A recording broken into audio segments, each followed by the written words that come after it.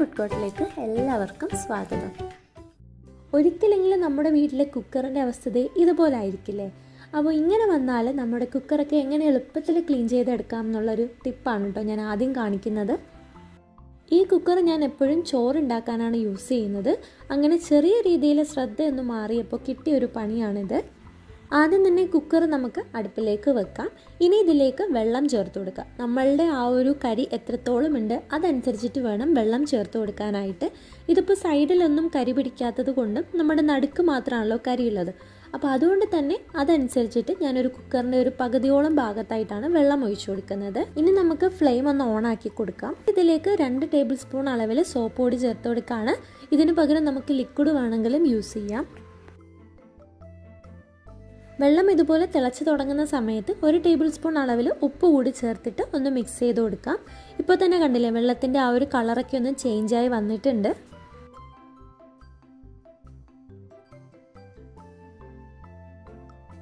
High ഫ്ലെയിമിൽ ഇരുന്ന് വെള്ളം ഇതുപോലെ തിളച്ച് പൊങ്ങി വരണം.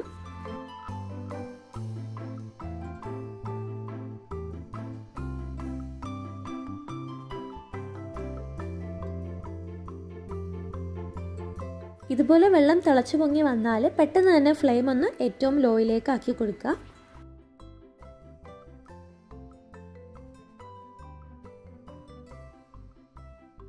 ഇടയ്ക്ക് ഇതുപോലെ ഒന്ന് മിക്സ് ചെയ്ത് കൊടുക്കാനായിട്ടും മറക്കരുത്.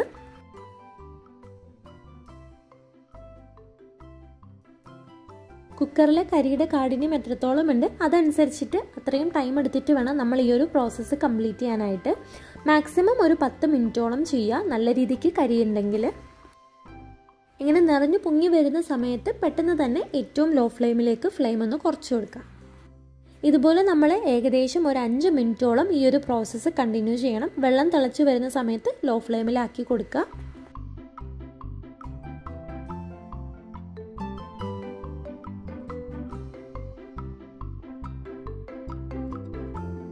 ഏകദേശം ഒരു അഞ്ച് മിനിറ്റിന് ശേഷം ഞാൻ എന്റെ വെള്ളമൊക്കെ ഒന്ന് കളഞ്ഞിട്ട് ഇതൊരു സ്ക്രബ്ബർ വെച്ചിട്ടൊന്ന് വാഷ് ചെയ്തെടുക്കുകയാണ് ഇതുപോലുള്ള സ്പോഞ്ച് സ്ക്രബ്ബ് യൂസ് ചെയ്താൽ മതി. അതാകുമ്പോൾ നമ്മുടെ ആ ഒരു കുക്കറിനകത്ത് സ്ക്രാച്ചോ കാര്യങ്ങളോ ഒന്നും തന്നെ വീഴില്ല.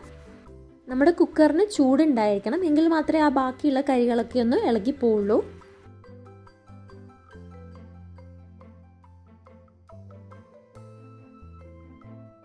അപ്പോൾ ഇതേ നമ്മളുടെ കുക്കർ ഇതേ അടിപൊളിയായിട്ട് ക്ലീൻ ആയിട്ട് വന്നിട്ടുണ്ട്. ആ കരികളൊക്കെ മൊത്തത്തിൽ പോയി കുക്കർ നല്ല ക്ലീൻ ആയിട്ട് പുതുപുത്തനായിട്ട് കിട്ടിയിട്ടുണ്ട്. അപ്പോൾ ഈ ഒരു പ്രോസസ്സ് എല്ലാവരും ഒന്ന് ട്രൈ ചെയ്ത് നോക്കാം. അടുത്തത് നമുക്ക് എങ്ങനെ പെട്ടെന്ന് സിങ്ക് ക്ലീൻ ചെയ്തെടുക്കാം എന്നുള്ളതാണ് കാണിക്കുന്നത്. നമ്മുടെ ഡെയിലി യൂസും സോപ്പ് വെള്ളമൊക്കെ വീഴുന്നത് കാരണം നമ്മുടെ സിങ്കൊക്കെ ചെറുതായിട്ടൊന്ന് മങ്ങി കളർ ചേഞ്ചൊക്കെ വന്നിട്ടുണ്ടാവും. അപ്പോൾ ഞാനിവിടെ യൂസ് ചെയ്യുന്നത് ക്ലോറക്സ് ആണ്. ക്ലോറക്സ് യൂസ് ചെയ്യുന്ന സമയത്ത് മസ്റ്റായിട്ടും ഒരു ഗ്ലൗസും മാസ്കും ഒക്കെ യൂസ് ചെയ്യാനായിട്ട് ശ്രമിക്കുക.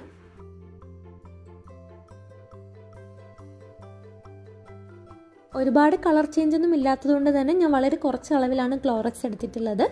ബാക്കിയുള്ളത് ഞാൻ ദേ ഒരു സ്പോഞ്ച് യൂസ് ചെയ്തിട്ട് എല്ലായിടവും ഒന്ന് തേച്ച് പിടിപ്പിക്കുകയാണ്. മാക്സിമം ഒരു അഞ്ച് മിനിറ്റ് റെസ്റ്റ് ചെയ്യാൻ വെക്കുക. പെട്ടെന്ന് തന്നെ ഇതൊന്ന് കഴുകി കളയുക. അപ്പോൾ കുട്ടികളൊക്കെ ഉണ്ടെങ്കിൽ മാക്സിമം ക്ലോറക്സിന്റെ യൂസ് കുറയ്ക്കുക. അവരുള്ള സമയത്ത് ഇത് ചെയ്യാതിരിക്കുന്നതാണ് നല്ലത്.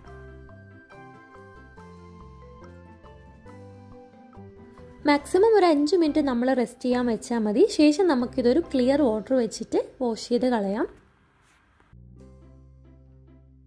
നല്ല സ്ട്രോങ് സ്മെല്ലാണ് ക്ലോറക്സിന് അതുകൊണ്ട് തന്നെ ജനലൊക്കെ ഒന്ന് തുറന്ന് അല്ലെങ്കിൽ എക്സോസൊക്കെ ഒന്ന് ഇട്ടിട്ട് വേണം നിൽക്കാനായിട്ട്. അപ്പോൾ ഇതേ വെള്ളമൊക്കെ വെച്ചിട്ട് നല്ലോണം ഒന്ന് കഴുകി എടുത്തിട്ടുണ്ട്.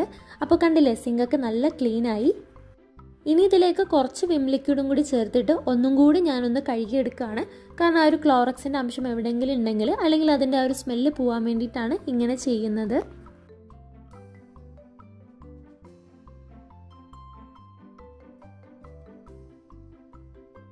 അപ്പോൾ ഇത് നമ്മുടെ സിങ്ക് കണ്ടില്ലേ? നല്ല പുതുപുത്തനായിട്ട് കിട്ടിയിട്ടുണ്ട്. അപ്പോൾ എല്ലാവരും ഈ ഒരു മെത്തേഡ് കൂടി ഒന്ന് ട്രൈ ചെയ്ത് നോക്കുക മിക്ക വീടുകളുടെയും അപ്പച്ചട്ടിയുടെ അവസ്ഥ ഇതുപോലെ ആയിരിക്കും. ഞാനിവിടെ അപ്പം ചുടാനും അതുപോലെ തന്നെ പെട്ടെന്ന് കടുകുന്ന് താളിച്ചെടുക്കാനുമാണ് ഈ ഒരു അപ്പച്ചട്ടി യൂസ് ചെയ്യുന്നത്. അതുകൊണ്ട് തന്നെ എണ്ണയൊക്കെ വീണ് സൈഡൊക്കെ ഇതേ ഒരു കളർ ചേഞ്ചായി എണ്ണയൊക്കെ പിടിച്ചിരിക്കുകയാണ്. അപ്പോൾ ഇതെങ്ങനെ വളരെ പെട്ടെന്ന് ക്ലീൻ ചെയ്യാമെന്നാണ് ഞാൻ നോക്കുന്നത്. ഇതിലേക്ക് ഒന്നര ടേബിൾ സ്പൂൺ അളവിലെ കടലമാവാണ് ചേർത്ത് കൊടുക്കുന്നത്. കൂടെ തന്നെ ഇതിലേക്ക് ഒരു ടീസ്പൂൺ അളവിൽ വിം ലിക്വിഡും ഒപ്പം തന്നെ ഒന്ന് രണ്ട് ടീസ്പൂൺ വാട്ടറും കൂടി ചേർത്ത് കൊടുക്കുകയാണ് കടലമാവ് നല്ലൊരു ക്ലീനിങ് ഏജന്റ് ആണ് എണ്ണ മയമൊക്കെ പിടിച്ചെടുക്കാനായിട്ട് സാധിക്കും. ഇനി ഇത് മിക്സ് ചെയ്ത് കൊടുക്കാം. ഒരു കുഴമ്പ് രൂപത്തിലായിരിക്കും നമുക്ക് കിട്ടുക. ഇത് നമുക്ക് നോൺ സ്റ്റിക്ക് പാനിന്റെ മൊത്തം സൈഡും ഒന്ന് തേച്ച് കൊടുക്കാം. എന്നിട്ട് ഒരു അഞ്ച് മിനിറ്റ് റെസ്റ്റ് ചെയ്യാനായിട്ട് മാറ്റി വെക്കാം ശേഷം ഒരു സ്ക്രബ്ബർ യൂസ് ചെയ്തിട്ട് ഇതുപോലെ ഒന്ന് തേച്ച് കൊടുക്കാം. ഇവിടെ സ്പോഞ്ച് സ്ക്രബ്ബറാണ് യൂസ് ചെയ്തേക്കുന്നത്. അതിന്റെ ബാക്ക് സൈഡ് വെച്ചിട്ട് നമ്മൾ ചെറുതായിട്ടാണ് ഒന്ന് തേച്ച് കൊടുക്കുന്നത്. ഒരുപാട് അമർത്തി തേക്കാൻ പാടില്ല. കാരണം ഇത് നോൺ സ്റ്റിക്ക് പാൻ ആണല്ലോ. നമ്മുടെ ആ ഒരു സൈഡിലെ കളർ ചേഞ്ച് ഒക്കെ വന്ന ഭാഗം ഒന്ന് സ്ക്രബ് ചെയ്ത് കൊടുക്കുകയാണ്. അപ്പോൾ കണ്ടില്ലേ ഇപ്പോൾ തന്നെ നിങ്ങൾക്ക് കാണാം. നല്ല ക്ലീനായിട്ട് വന്നിട്ടുണ്ട്. ആ ഒരു എണ്ണ മയമൊക്കെ മൊത്തത്തിൽ പോയി അപ്പോൾ ഇനി ഇതൊന്ന് വാഷ് ചെയ്തെടുക്കുകയാണ് അപ്പോൾ ഇതേ നമ്മുടെ അപ്പച്ചട്ടി ഇവിടെ ക്ലീൻ ആയിട്ട് കിട്ടിയിട്ടുണ്ട്. കണ്ടില്ലേ? അതിലുള്ള മുഴുവൻ എണ്ണമയമൊക്കെ മാറി. അപ്പോൾ കടലമാവ് അത്രയ്ക്കും നല്ലൊരു ക്ലീനിങ് ഏജന്റ് ആണ്. എണ്ണമയമൊക്കെ പോകാനായിട്ട് അപ്പോൾ നിങ്ങളും ഈ ഒരു മെത്തേഡ് യൂസ് ചെയ്ത് നോക്കുക ഇഷ്ടമാവും അപ്പോൾ എല്ലാവർക്കും വീഡിയോ ഇഷ്ടമായെന്ന് വിചാരിക്കുന്നു. വീണ്ടും മറ്റൊരു വീഡിയോയിലൂടെ കാണാം. അതുവരേക്കും ബൈ